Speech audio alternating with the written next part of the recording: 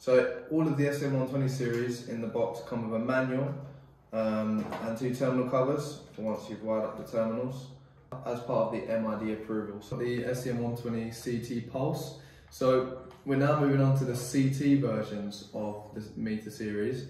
So the difference is the others were all 45 amp direct connected, so they'll be sitting in line, say this is your single phase circuit, live and neutral, live and neutral. That's how the direct connected meters would essentially be sitting on the load. But with these ones, you would have a separate supply, five or six amp MCB to wire the live and neutral into this meter.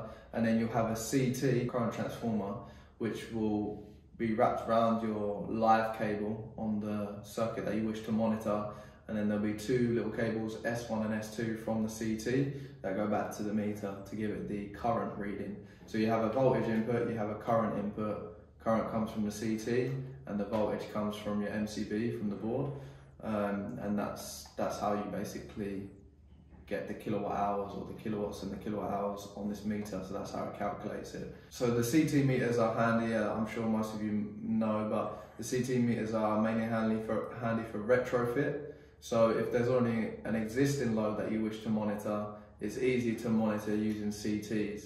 A lot of the time as well, um, I mean this particular series only goes up to 45 amp.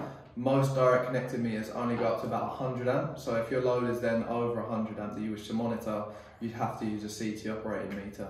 The CT versions of the SDM120 series goes up to 600 amp maximum, so you can have a 600 to 5 amp CT. 5 amp is the secondary and that will communicate fine with the meter and work out your kilowatt hours for you. Applications that these are best used for is, again, any check meter scenario. The SDM120 CT Pulse is still multifunction, so it will still give you the multifunction readings that the SDM120 Mod Mid will give you, which we already covered. It's got the button here to go through the different parameters and um, yeah, so it's good for any check meter scenario. Obviously with this one you can go up to 600 amp as we said, whereas the direct connector is only 45 amps, that's a benefit of this one.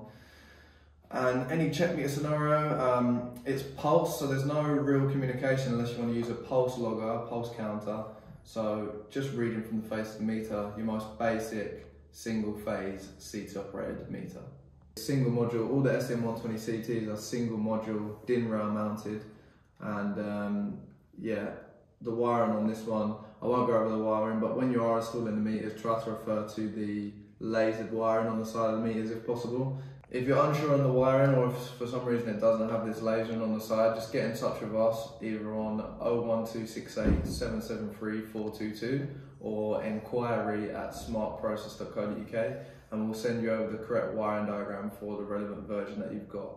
Thank you very much for watching. Appreciate your time. If you made it this far, if you have any questions, feel free to drop a comment or get in touch on um, email or, or on the phone. Please like and subscribe for more content like this and uh, stay tuned to the channel. Thank you.